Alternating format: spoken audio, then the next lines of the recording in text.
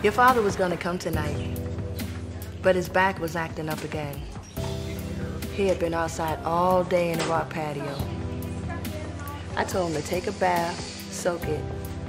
He wouldn't hear any of this nonsense. He wanted to power through the pain. You're so much like him, Frankie. I know when you wake up, you're probably gonna get back to the office before they can even take the bandages off.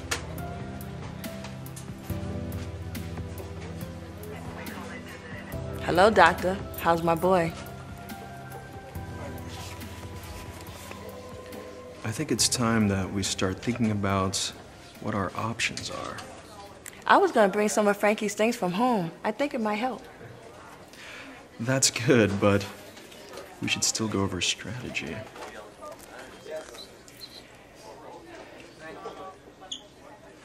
Doctor, I know you have your strategy to discuss, but my boy, he's gonna wake up.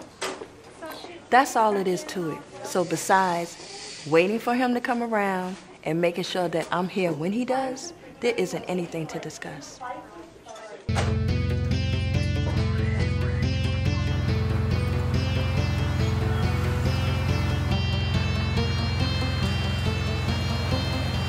She's over 10 minutes late. I'm going to kill her. Don't worry, she'll be here soon enough. Katya's probably just counting down the minutes. At least it gives her something to do. And of course she's gonna blame everything on me. Mia always blames everything on me.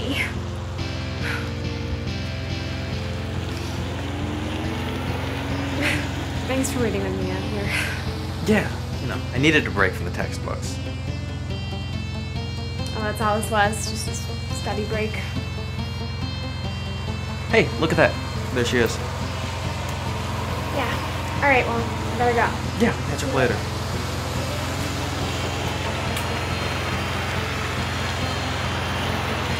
Where were you? It took forever. I'm just stuck in traffic.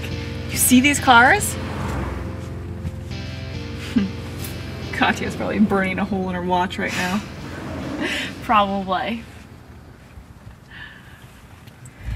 Can you believe Mia didn't let us come to the meeting tonight? She doesn't want you there, that's obvious enough to me. But why wasn't I asked to go? I'm supposed to be the second prefect. Her and Katya go way back. Yeah, that's tough. So, what's with you and Antonio? Nothing. What do you mean? I saw you standing out there with him.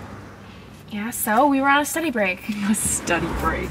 Yeah, his exact words were that he needed a break from his textbooks. Likely story. What's that supposed to mean? Nothing. So how are you and Chad? We're kind of taking a break right now. Whoa. When did that happen? About two weeks ago, when Mia was still in France. I guess I miss everything while I'm at school.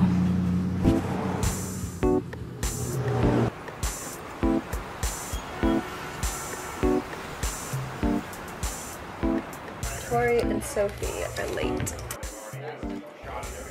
Sophie had to drive Tori. You know what Harvard Square is like on a Saturday night. Do you think we should order? Come on, we can wait one more minute. Fine. But just one minute. I'm really, really hungry. Where's the bread anyway? Here we are. Actually, could you? Okay. Where's the butter? I guess you forgot it. I like bread of the Movanda better. Me too. Why did we stop going there? Tori likes this place. How did Tori even find this place? I thought she was supposed to be in class all the time. Someone's coming towards us. Armed? I don't think so. It's tough to tell.